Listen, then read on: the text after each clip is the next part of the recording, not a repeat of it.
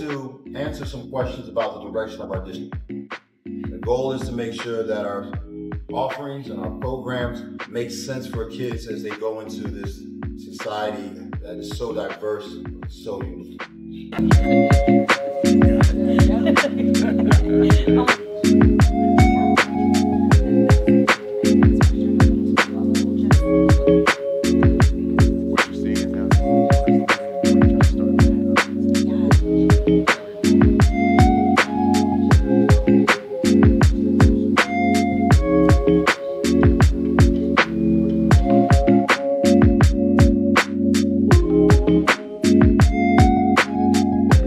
Transparency, we have dramatically increased our footprint in the social, emotional, and social well-being space.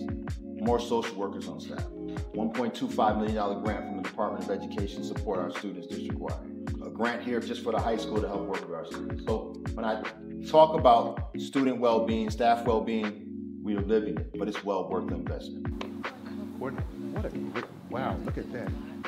After school lessons for children who do not speak English. That's a were just talking about changing the neighborhood.